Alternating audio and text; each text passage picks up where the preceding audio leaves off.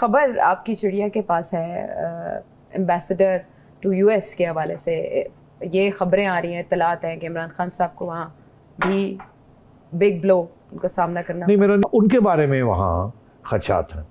और एक कांग्रेस वाला साहब हैं उन्होंने खत लिख दिया अभी प्रेसिडेंट ऑफ़ अमेरिका को जो बाइडेन को कि जी हाँ स्कॉट पेरी ने कि जी ये जो साहब हैं ये तो जिहादी हैं।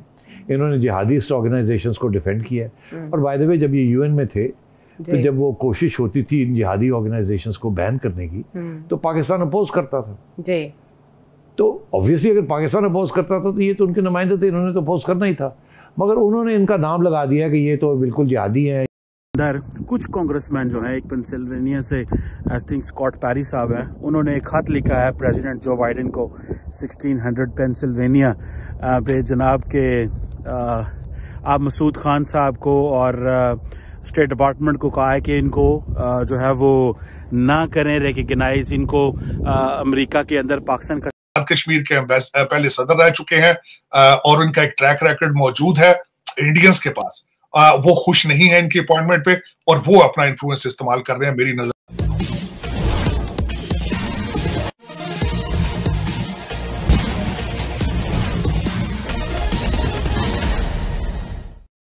पाकिस्तान को एक बार फिर शर्मिंदगी उठानी पड़ी है। जिस व्यक्ति को अमेरिका में राजदूत बनाने के लिए पाकिस्तान ने नाम भेजा था, उसे अमेरिका ने जिहादी घोषित कर उनके नाम को रिजेक्ट कर दिया है।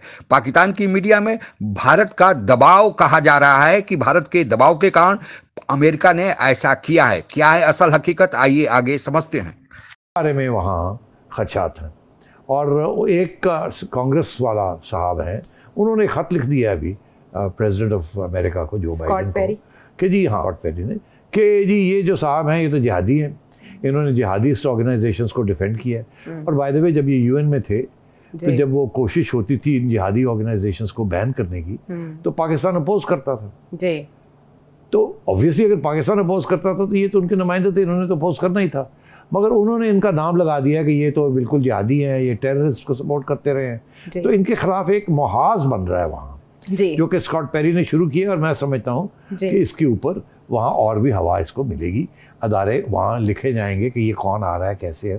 पाकिस्तान के बारे में जो भी नेगेटिव चीज़ होती है वहाँ उसको उछाला जाता है। हम्म। आ, और वैसे ही प्रेसिडेंट जो बाइडन जो है वो आपके हक में नहीं है इतने आजकल नाराज़ बैठे हैं हम्म। तो टेलीफोन कॉल भी नहीं करते। आ, और अब सूरत हाल ये है कि ये कब से अग्रिमा भेजा हुआ है कि जी वो साइन करें ताकि ये जाएँ? हाँ मगर अभी तक अमेरिका की हुकूमत ने इनको ओके नहीं किया ग्रीन लाइट नहीं दी। अभी भी होल्ड करके रखा हुआ है।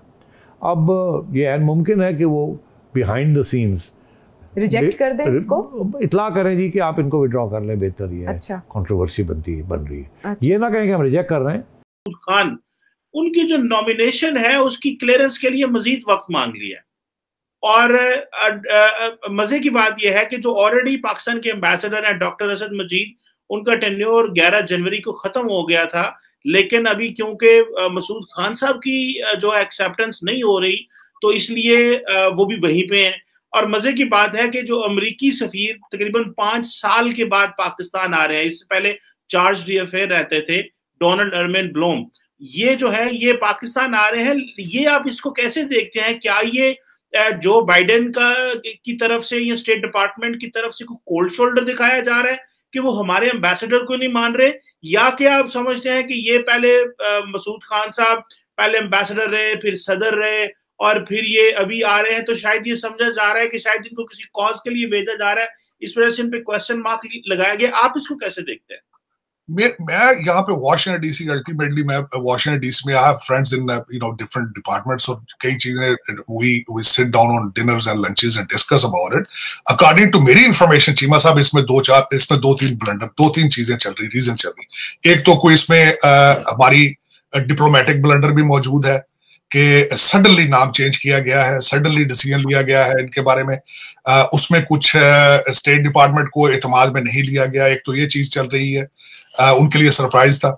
दूसरा जो मेरी नज़र में मैंने जो वॉशिंगटन डीसी में देखा है कि इंडियन लाबी जो है diaspora Indian lobby Indian foreign office Indian embassy they are creating a pressure on his nomination as well और उसमें अगर ये चीज़ें हो रही हैं तो of course they will be successful मैं अगर आप uh, चीमा साहब आप स्टेट डिपार्टमेंट में अगर देखें uh, मैं एक द, पिछले दिनों मैंने देखा है कि इंडियन एम्बेसी अक्सर जितने वहाँ पे इंटर्न्स हैं स्टेट डिपार्टमेंट में, जितने इंडियन अमेरिकन एम्प्लॉयज़ हैं, इनको अक्सर इंडियन एम्बेसडर और इंडियन एम्बेसी में बुला के डिनर और उनको उनको एंटरटेन किया जाता है इन्फ्लुएंस के लिए। और उसके बाद आपको पता ही है, जिस तरीके से इस वक्त पाँच कांग्रेसमैन इंडियन डिसेंट के हैं और इस वक्त जो बाइडन एडमिनिस्ट्रेशन की नॉमिनेशन है उसमें बहुत ज़्यादा इंडियन एक्टिव है पॉलिसी रिलेटेड नॉमिनेशन में।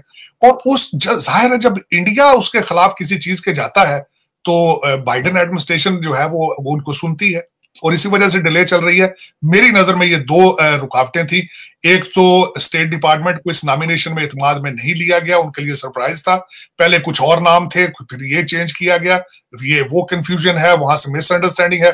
और दूसरी सबसे बड़ी रीजन है क्योंकि ये आज़ाद कश्मीर के पहले सदर रह चुके हैं और उनका एक ट्रैक रिकॉर्ड मौजूद है इंडियंस के पास। वो खुश नहीं है इनकी अपॉइंटमेंट पे और वो अपना इन्फ्लुएंस इस्तेमाल कर रहे हैं। मेरी नज़र में ये दो रुकावटें हैं। अब देखें ये अब आगे कश्मीर कॉज को इस वक्त खुद एक तरफ़ आपकी इस्टेब्लिशमेंट कह रही है हमने नॉर्मलाइज करना है हिंदुस्तान के साथ और अमेरिका के साथ टिल्ट करनी है।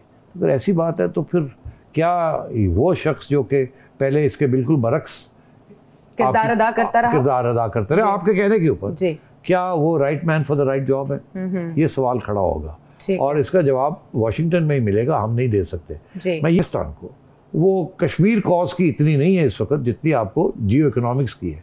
और उस जियो इकोनॉमिक्स के अंदर आपको कोई यंग डायनामिक बिजनेसमैन जिसके वहाँ कांग्रेस के अंदर भी कॉन्टैक्ट्स हों अमेरिकन बिज़नेस लॉबीज के साथ भी हों और जो कि वहाँ रीच आउट कर सके हम्म। और जिसके तल्लक शायद कांग्रेस के लोगों के साथ हों तो इस किस्म का बंदा आपको ढूंढना चाहिए। आ, क्या ऐसे बंदे नहीं है? मुझे नहीं पता। अब देख रहे हैं कि जो निकात या जो तफसीत सिटी साहब बयान करें रहे हैं जो बाइडन इंतजामिया क्या पाकिस्तानी हुकूमत को इस रिव्यू पर मजबूर कर पाएगी या नहीं क्योंकि दिसंबर से मसूद खान साहब ने अलविदाई मुलाकातें शुरू की थी लेकिन उसके बाद वो भी रुक गए क्योंकि वहाँ से अभी इंतज़ार फरमाइए की हेडलाइन चल रही पाकिस्तान ने पाक ऑक्युपाइड कश्मीर के एक भूतपूर्व राष्ट्रपति मसूद खान को अमेरिका में राजदूत बनाकर भेजने की एक चाल चली थी ताकि मृत पड़े कश्मीर के मसले को फिर से ज़िंदा किया जा सके, पर भारत ने ऐसी चाल चली कि पाकिस्तान को फिर इस बार बेइज्जती का सामना करना पड़ा है। अमेरिका ने उन मसूद खान को जिहादी कह के, आतंकियों का समर्थन देने वाला कह के, उनके नॉमिनेशन को रिजेक्ट कर दिया है और कहा है कि इन्हें अमेरिका में राजदूत बनाकर ना भेजा जाए। आप लोगों को पता ही होगा कि पीओके यानी पाक ऑक्युपाइड कश्मीर, जम्मू कश्मीर का वह इलाका है जो अभी पाकिस्तान के अवैध कब्जे में है। पाकिस्तान के अवैध कब्जे में होने के कारण भारत उसे अपना मानता है, इसलिए उस इलाके के किसी व्यक्ति को पाकिस्तान का प्रतिनिधित्व करने या पाकिस्तान का राजदूत बन के अमेरिका में जाने से भारत ने मना किया है और दूसरा, उन पर जिहादी होने का भी आरोप है।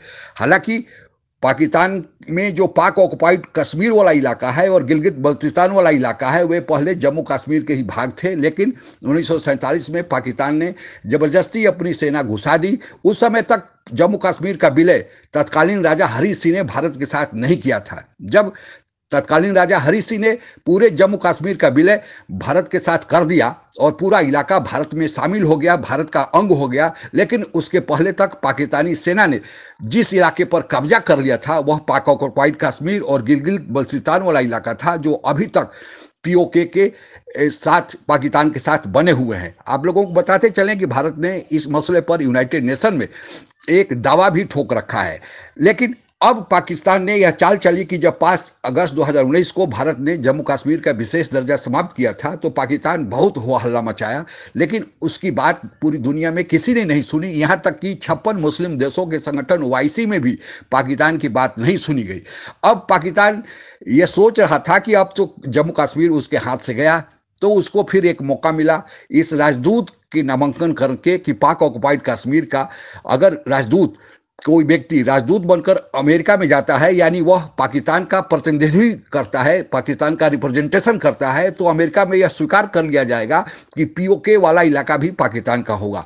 पाकिस्तान यह चाल चलने की कोशिश किया था, लेकिन उसकी चाल भारत के कूटनीति के आगे नाकामयाब हो गई है। पाकिस्तान को इस बार भी मुँह की खानी पड़ी है। पाकिस्तान को चाहिए कि वह पीओके और गिलगित बल्तिस्तान वाला इलाका भारत को सौंप के भारत के साथ शांति से रहे, एक अच्छे पड़ोसी का व्यवहार करे और फिर दोनों देश शांति से अपने अपने विकास के मार्ग पर बढ़े। आज के लिए बस इतना ही। जय हिंद।